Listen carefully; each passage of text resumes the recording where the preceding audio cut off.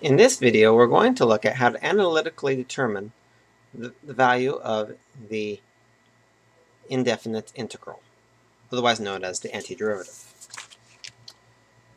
When we first started learning about derivatives, we first used the limit of the difference quotient to find the derivative, then we learned rules to make it easier. Uh, likewise with integrals, we've, we started with the Riemann sum being the actual definition, and now we're going to learn rules. In, in, in, this calculus class, we are only going to begin doing that. Most of the rules we will learn in calculus 2 and 3. Primarily calculus 2.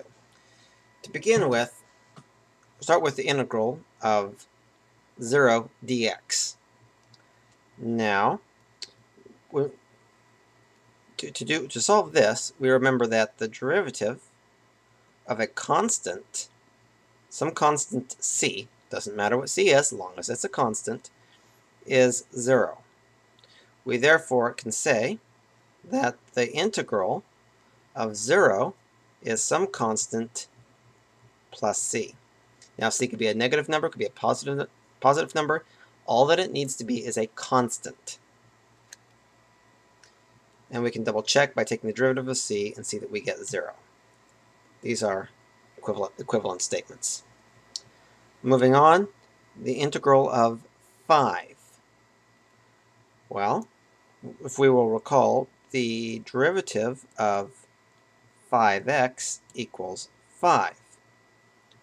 Therefore, we can say that the integral of 5 dx is 5x. This, this is quite true. However, whenever we do an indefinite integral, we need to remember to add plus c. That sometimes that c is important, sometimes it is not, but we always need to add it to an indefinite integral, where c is simply a generic constant. We can turn around and take the derivative of 5x plus c and see that we always get 5.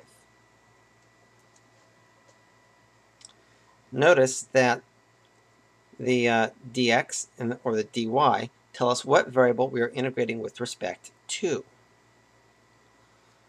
Hence, in this example, since here we got, we've gotten 5x, x is our variable of integration, here y is our variable of integration.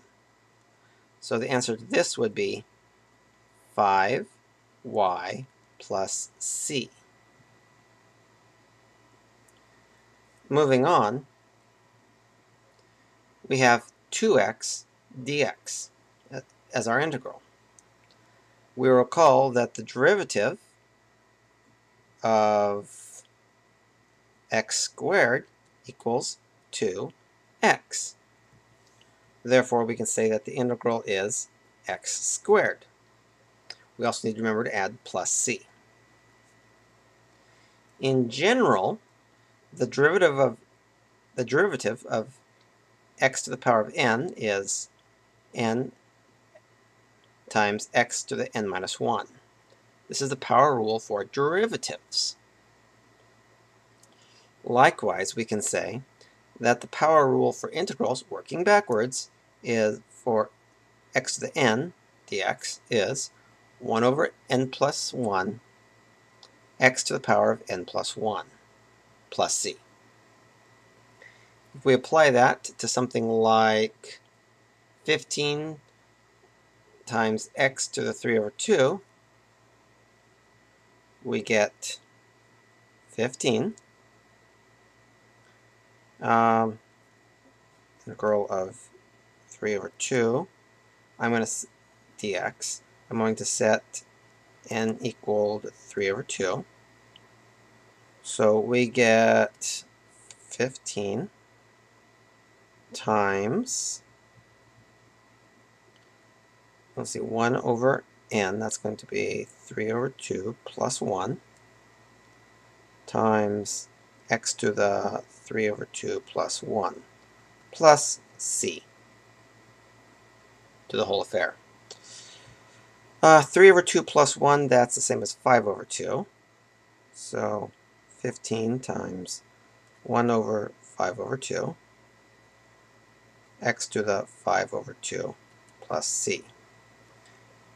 If we further simplify this, we get 15 times 2 over 5 x to the 5 over 2 plus c, or simply 6 x to the 5 over 2 plus c.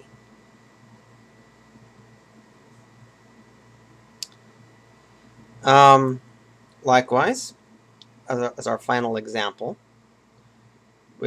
um, 3 times e to the 3x. If we recall, the derivative of let's have a little bit more room. The derivative of e to the 3x is 3e to the 3x. Therefore, the derivative, the integral of 3 of e 3 e to the 3x dx is e to the 3x plus c.